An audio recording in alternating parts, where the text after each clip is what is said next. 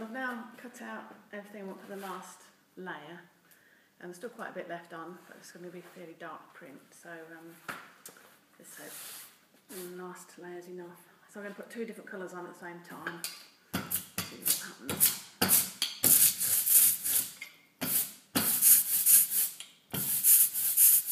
Might be a little bit dark,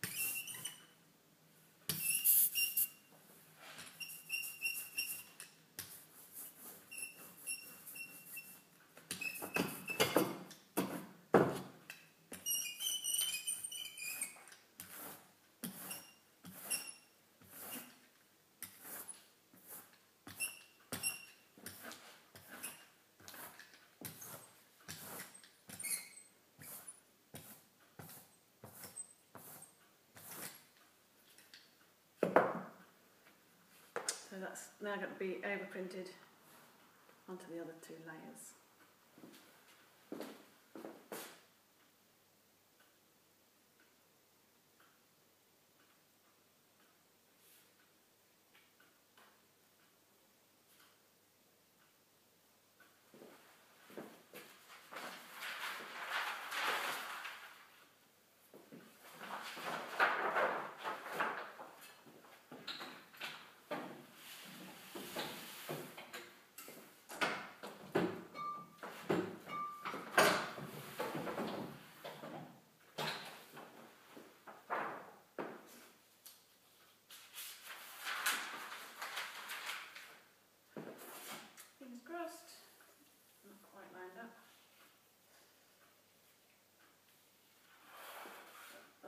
Final layer.